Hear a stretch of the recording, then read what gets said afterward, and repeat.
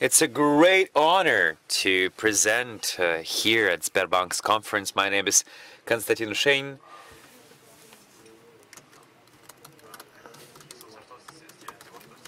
I will talk about UNET and everything related to it. Now I can see my presentation. Thank you. What is UNET? Here's an article of uh, 2019 and it's been quoted for over 19,000 times. Probably it will be one of the most quoted articles of the decade or even the beginning of the century. This is the article that was released in 2015. So question is whether UNET is such a great technology solving so many tasks so it would be exciting for lots of experts in different domains. So spoilers alert, it's really really good.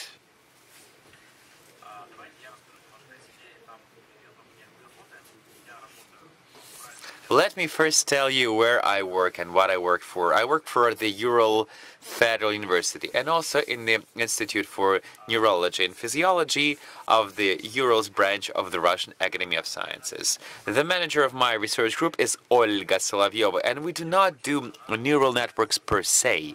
First and foremost, we do modeling of um, myocard uh, processes. So we research the electrical processes in myocard, that is the tissue of the heart, the muscle tissue of the heart. How myocard is changing, how it's developing, how uh,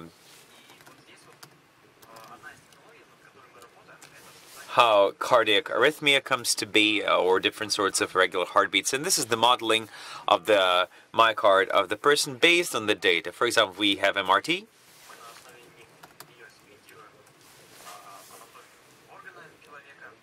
we simulate the model of human body. That's a computer model, of course, and as a result, we can predict certain changes that are happening in the heart under the effect of certain medic medicines and substances. First, we do attribute-based segmentation. We create the actual region of the body where the organ is placed. And the data itself, of course, is not perfect. There are artifacts in the data uh, regarding different items or movements of human body and that data can not always be easily processed. So if, uh, for example, there is a need to segment certain data, it leads to the problem that um, neural networks must be used. That's the best approach that we have so far and it provides the best quality as a result. Let me show you all of the most important white papers that we released in the last three years. Six of these white papers were specifically dedicated to segmentation of medical data using neural networks. Those six all use UNET. In addition, Many of these works were made not only with group, but of course in cooperation with our colleagues from different uh, bodies and organizations. And today, I would like to specifically talk about three of the researches, three of the white papers that we released, and of course about the insights. So, first, the segmentation of myocard. We have this huge thing it's called the uh, MRT machine with a huge magnet.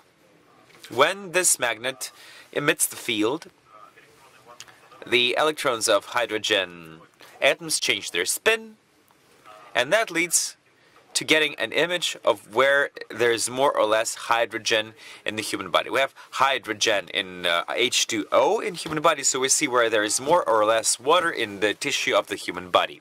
So here, you want to highlight certain region in this image. What's the specifics of those regions? First of all, the borderline of those regions are not clear. They're blurry, can even be more blurry than we see here on an image.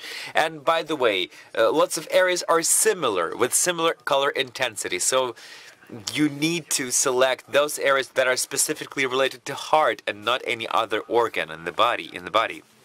So we have been using UNet for that sort of segmentation. And that's the um, convolutional autoencoder, autoencoder. So we first get an image, and the image, we, we define certain signifiers, features, uh, and we get to a certain bottleneck when we get an image as compressed as possible, and then we get the extrapolation. But if we do teach the model with this architecture, do train the model with this architecture, it takes just really too long. I mean, your patient may die. That's why we get these gray connections that you see on screen, which help the neural network to train based on a uh, sign that is uh, on a on a property that is uh, that is not falling into that bottleneck. So in the end, we get the segmented image of a certain size.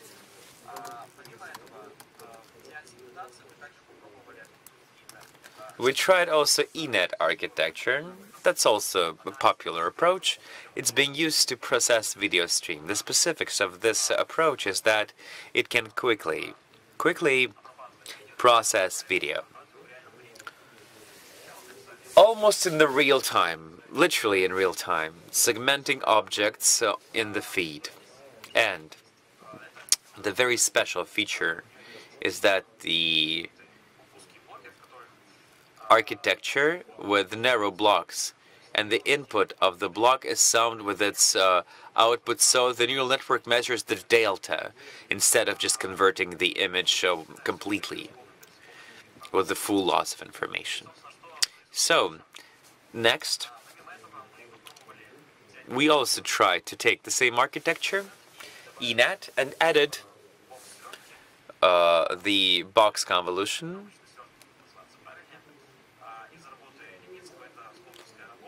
based, by the way, on the Skolkovo research, we decided to pick this approach to just see the result. So here's what we got. Here's what we can say about it. Myocard segmentation is not the most complex test because there are no thin lines or small regions. We have one big object, so we can use semantic segmentation. And therefore, the difference is that if we look, for example, at all of our data, the 3D volume of data, we can see planes, and then those planes, uh, there are there are certain segments based on the layers. And UNet works well even if the situation is not uh, that evident, it's very complex. At the top of the data,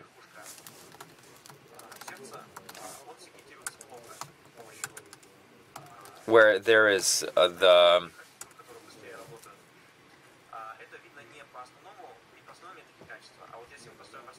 where there's the uh, auricle or auricula, auricle of heart, the error is higher compared to the result that we expect.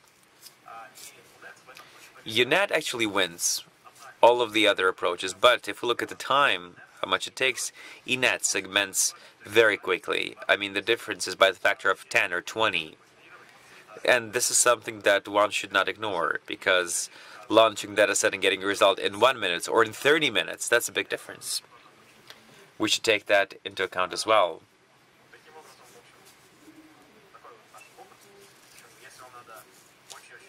This is our experience. So if, if you need to do the segmentation of the card, of the heart, and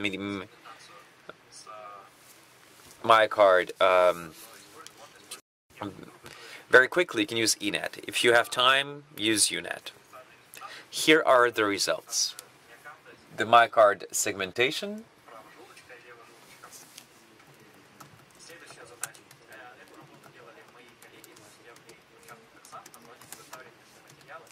And here's also segmentations of the vehicles of heart. But this, this is one of the works that uh, my colleagues did. This is uh, the other MRT device. It has the metal frame with an X-ray.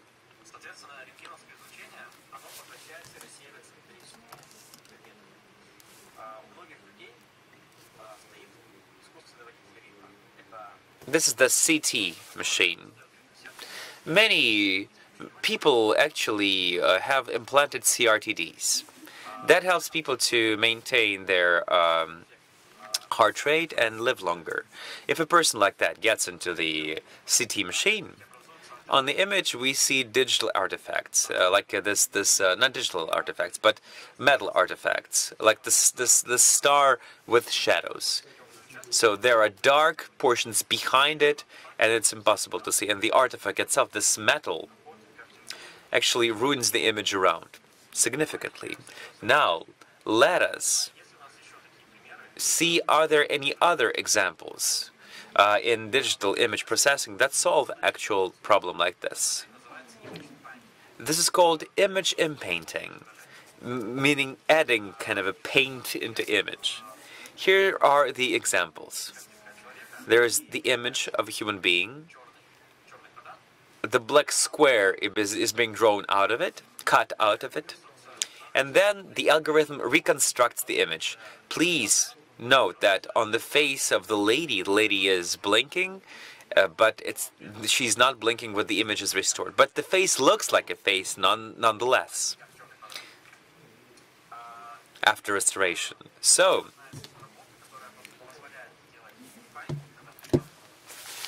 one of the ways to make inpainting, if we look, if, if we pay closer attention to this architecture, there are lots of blocks here, and every single one is not just a box, convolutional box.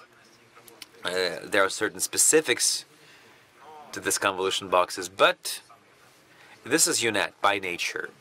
Uh, you can actually uh, build the inpainting algorithm based on it. We just uh, replace the segmentation task uh, with the inpainting task, and it works. So here's the um, sample. We took the data and we kind of um, just painted over certain pieces on the images and then we trained the model for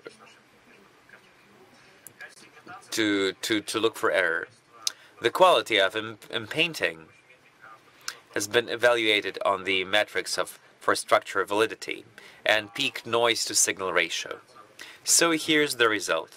A neural network is also being trained, and we have been using NMAR approach as a baseline solution. And neural network turned out to be better. Here are the results. It was good, we painted over, it turned out to be pretty decent. The same is happening with the uh, CT artifacts. It's not that we can restore all of the lines. The thinnest lines, the thinnest borders are impossible to restore. That's a problem. Uh, a few additional notions about UNet, a few uh, words about my personal experience. I tell to the students how to use the UNet. I teach them to use it. And uh, I have been using it quite a lot.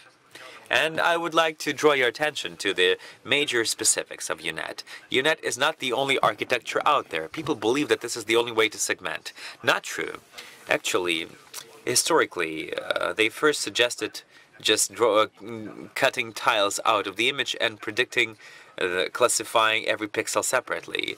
That is something that takes too long, that it can segment an image pretty decently. In addition, there are uh, uh ResNet networks, ResNet approaches they have these narrow blocks inside. These uh, networks are faster. They're faster to train. They deliver decent results. They are similar networks, similar to UNet, but they have more neurons, and you get a better result.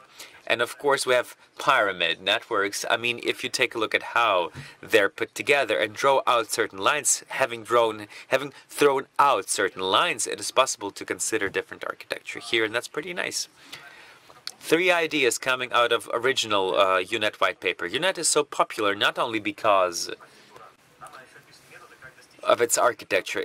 We have also a very thorough description of how we can achieve better results based on that result, based on that architecture. That's mainly the neuroelastic transformation. This is the method of augmentation that works with almost every medical image. That is also strategies uh, of coverage. I mean, we are completing the image on the edges by this mirroring and uh, the input is becoming big, bigger in the network and the output is smaller. So we fully restore the image by covering windows that we are processing. That allows us to process uh, very big images with the neural network with, with a significantly, with a relatively small input. And also the weight chart which helps us to segment thin contours working with every neural network. I mean, we set the high margin of error outside of regions that are close to I mean, if there are two regions that we need to segment separately, we are providing high error margin for every pixel, weight error, to all of the pixels between these two regions. And that leads to the fact that neural network can separate it pretty easily and pretty well. And then we make the fill and we can separate every thin line. So that's how we travel from semantic segmentation to sample segmentation, which is good. Any narrow blocks, no matter how narrow they are from other networks, etc., they make the results inevitably better, so we can improve segmentation that way. U-Net was first suggested in 20, 3D U-Net was introduced very quickly in 2016 for 3D convolution cores. That worked very well for segmentation of the heart, but that takes again very, very long. So long that it's not, not, not cool to work with. And also U-Net is really good for engineering. We just take the number of blocks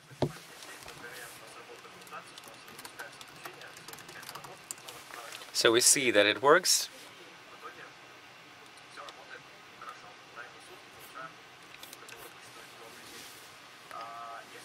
If we do that with a fully convolutional network or ARISNet, it will probably not work completely at all. After 2015, segmentation of medical images improved so much better. Most of the approaches that were before are not used at the moment. But speaking about engineering of neural networks, we need to input data, we need to create the weight card, the weight chart, sorry. We need to do image processing. And that leads uh, to the need of quality programming. We need to know the fundamentals of image processing, otherwise we will not be able to use these neural networks. Uh, therefore, I would conclude Please join us in innovation and write PhD with us. I'd be happy to answer any of your questions.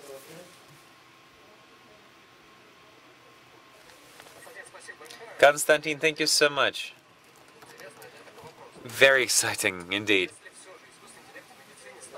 If AI in healthcare will replace doctor and do uh, medical jobs better than um, the people, will that lead to uh, the loss of competent um, medical professionals?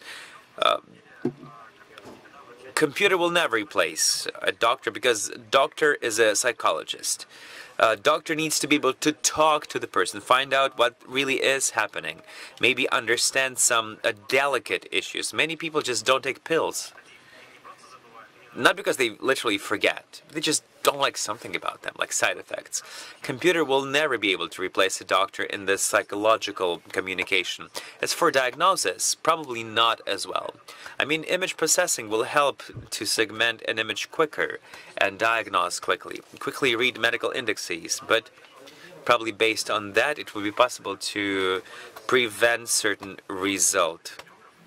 I mean, there are now cardiographic diagnosis, uh, uh, automatic cardiographic diagnosis devices.